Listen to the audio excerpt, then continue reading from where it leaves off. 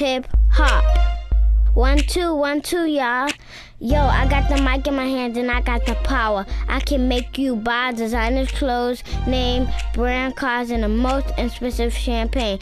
The hottest sneakers and all the bling bling. Yo, I be doing my thing when I spit my lyrical masquerade. Hip hop is a billion dollar industry, and corporate America done got paid from the MCs picking up their products for free. Then once they make the bag off of hip hop, the big shots publicize they didn't make their products or merchandise for the hip hop community.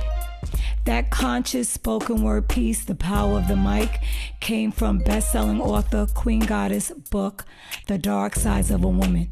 To get this book, you can go online to www.thedarksidesofawoman.com or you can visit her on MySpace slash The Dark Sides of a Woman. Remember, knowledge is power and ignorance is nonsense. So what you waiting for? Run out and get The Dark Sides of a Woman. Peace and natural hair grease. Much love. Power to the people. Peace out. One love, baby.